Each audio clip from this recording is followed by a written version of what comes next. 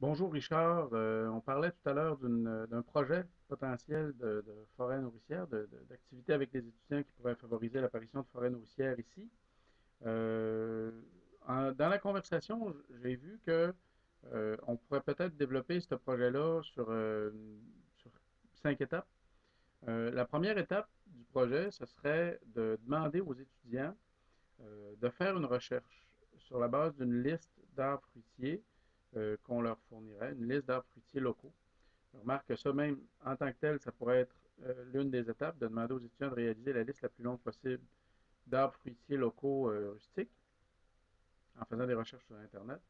La plus longue liste possible d'arbres fruitiers qui peuvent pousser au Québec puis qui poussent bien ici sous notre climat, à notre latitude. Donc, première étape, ce serait de dresser cette liste-là. Deuxième étape, ce serait de faire une recherche sur chacun des arbres de la liste. Donc, chacun des étudiants pourrait avoir à faire comme travail d'une page ou de deux pages une petite recherche sur euh, l'arbre qu'il aura choisi. Euh, si on a une trentaine d'arbres, on peut les distribuer euh, dans des classes pour que les, étudiants fassent chacun un arbre. Si on a cinq classes, ben, ça fait qu'on a cinq recherches différentes sur le même arbre. On peut choisir la meilleure euh, dans le tas ou on peut les publier toutes. Une fois qu'on a faire les recherches par les étudiants sur chacun des arbres fruitiers, on réalise avec ça un petit, euh, une espèce de petit catalogue euh, qui présente les différents arbres fruitiers qui existent aux gens euh, qui auront le catalogue en main. Ce catalogue-là, on le confie aux jeunes pour qu'eux-mêmes le distribuent autour d'eux. Ça peut être un catalogue strictement virtuel. On peut en imprimer quelques copies pour pouvoir le feuilleter.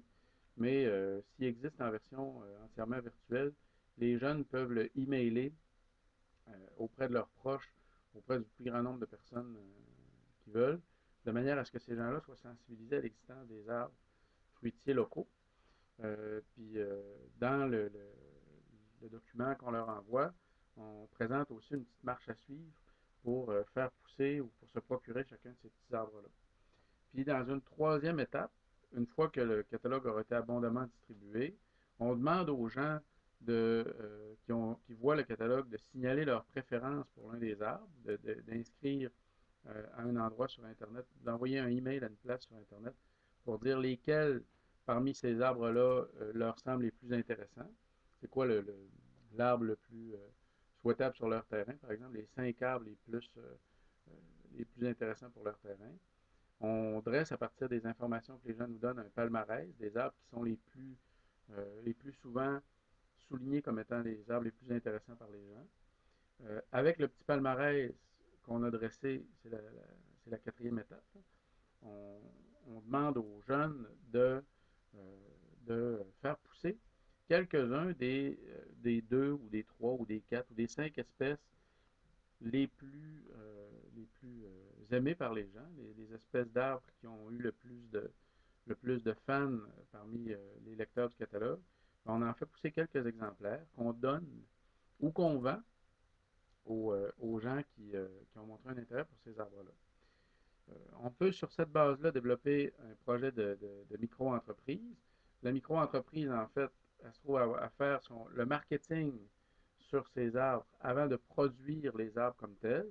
Donc, elle fait le marketing puis l'étude de marché au départ en faisant des recherches sur chacun des arbres, en produisant un petit catalogue, en le distribuant, en voyant ce que les gens aiment. Ça se trouve être la partie marketing et de marché. La partie production, c'est quand les jeunes démarrent des petits arbres à partir de semences. Puis, euh, ils peuvent éventuellement donner ou vendre ces arbres-là à des gens. Puis là, éventuellement, si on le développe comme un, modèle de micro-entreprise, ce serait peut-être intéressant d'ajouter euh, un concept nouveau au concept d'entreprise tel que, tel que on l'utilise jusqu'à maintenant. On devrait demander aux jeunes de, de, de regarder leur entreprise puis de, disons, décrire leur entreprise en décrivant non seulement les profits qu'ils peuvent faire à court terme en euh, vendant les arbres pour que les gens qui les reçoivent les plantent, les fassent pousser, puis les gardent pour eux, euh, mais qu'on envisage aussi une deuxième filière de profit, les profits à court, à long terme, si au lieu de, vendre les arbres, on les donne à des gens, moyennant une part des fruits que ces arbres-là vont rapporter plus tard. Euh, donc, une filière de profit court terme, une filière de profit long terme. Euh, ce serait intéressant que, que, que l'étude soit faite par les, jeunes pour voir combien on peut prévoir que les arbres vont produire à long terme, disons sur un horizon de 5 ans puis sur un horizon de 10 ans. Puis, ce serait intéressant que, chaque jeune voit deux filières d'entreprise, finalement, une filière d'entreprise basée sur le modèle économique actuel dans lequel on vend les choses, puis un autre modèle d'entreprise dans lequel, au lieu de vendre les choses, on les donne en espérant à long terme euh, obtenir euh, un profit basé sur la reconnaissance des gens auxquels on aurait donné euh, ces choses-là qu'on leur donne.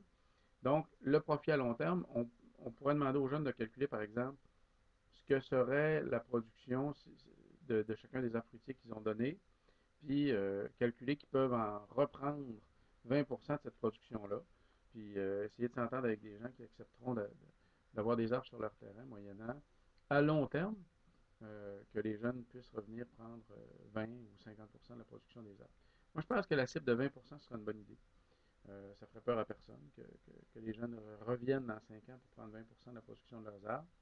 Il y aurait quand même l'impression de recevoir quelque chose d'important en recevant un arbre qui en recevant 80% de sa production à long terme. Et qu'éventuellement, il serait probablement content d'investir le travail nécessaire pour entretenir ces arbres-là. Voilà, c'est l'idée que je voulais te transmettre. Donc, première étape, faire une liste des arbres fruitiers locaux rustiques. Deuxième étape, faire réaliser par chacun des étudiants euh, une euh, recherche sur un euh, des, arbres de la liste de manière à avoir à la fin une recherche sur chacun des arbres qui constituent la liste de départ. Troisième étape, faire un catalogue qui sera distribué avec cette liste-là, puis avec un petit document sur la plantation et l'entretien des arbres document qui pourrait être réalisé par les étudiants et qui sera distribué abondamment par les, euh, par les étudiants. Quatrième étape, euh, construction d'un projet de micro-entreprise à partir des réponses qui auront été obtenues dans le sondage fait à l'étape 3, dans l'étude de marché fait à l'étape 3 à l'aide du catalogue distribué auprès des, proches des jeunes. Donc, quatrième étape, production de, petites plantes et distribution de petites plantes. cinquième étape, euh, présentation de deux filières de micro-entreprises. Une filière de micro-entreprise dans laquelle on envisage les profits à court terme en vendant les arbres. Puis une deuxième filière de micro-entreprise dans laquelle on envisage les les, profits à long terme en donnant les arbres, moyennant une entente avec les gens qui les recevront pour euh, que nos jeunes puissent récolter 20% de leur euh, production. Deux filières, donc, euh, deux filières économiques différentes. Qui mériterait d'être évalué dans la cinquième étape du, projet dont on, parlait ce matin. Voilà, c'est ce que je voulais te présenter comme possibilité. Si tu trouves que c'est intéressant, je t'invite à me recontacter n'importe quand. Ça